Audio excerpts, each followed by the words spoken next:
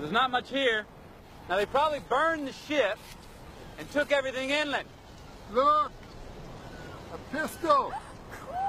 All right, well, what do we know about Topsail Key?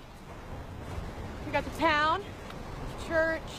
Preacher's Cave. We were up there once, remember? It said something about first settlers, religious freedom. God, I think that is just so important. Yeah, but that was like... like 1780 something. I mean, Sebastian beat them here by uh, almost 70 years. But if there are any old records, they're in the church. Letters, journals, sermons. Yeah. It's smart, Tess. It's the oldest building on the island.